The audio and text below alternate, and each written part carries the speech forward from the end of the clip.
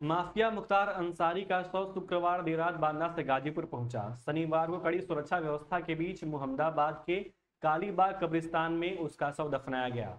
मुख्तार अंसारी कब्र उसके पिता सुबहानुल्लाह अंसारी एवं माँ बेगम राबिया खातून की कब्र के समीप खोदी गई। मुख्तार के जनाजे में भारी संख्या में लोग उमड़े थे। चूँकि कब्रिस्तान में सिर्फ़ परिवार के लोगों को जाने की अनुमति थी, इसलिए लोग कब्रिस्तान के बाहर जुट गए।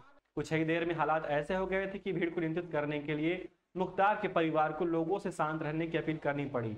आखिर में सुबह 11 से साढ़े ग्यारह के बीच में मुख्तार को दफना दिया गया। इसी बीच मिट्टी डालने आए लोगों को लेकर मुख्तार अंसारी के भाई और गाजीपुर सांसद अफजाल अंसारी की गाजीपुर डीएम से बहस हो गई। निकाल के आता हूँ। ठीक है। एक एक वन बाय वन निकाल दिया। चार पाँच लोग मजदूर लोग हैं। या भाई हैं भाई हैं हम।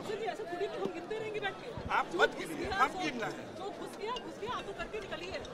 आप अधिक संख्या ये आपकी कृपा पे नहीं है कि आप कहिएगा कि तीन लोग मिट्टी देंगे। हाँ हाँ। कुछ भी हो तो अब हमारी मट्टी देने के लिए हमको तो आप करिए। आपने परमिशन थोड़ी आप करिए। मट्टी देने के लिए अपने धार्मिक प्रयोजन के लिए किसी परमिशन की ज़रूरत नहीं कस्बा थोड़ी मट्टी देगा भाई सब परिवार के लोग दें। कस्बा नहीं जहाँ के भी कोई मट्टी देना चाहेगा वो देगा।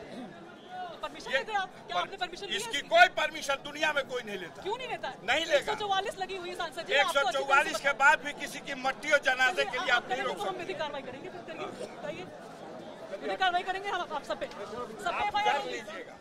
ऐसे ही बेहतरीन खबरों को लेते रहिए विशेष खबर। नमस्कार।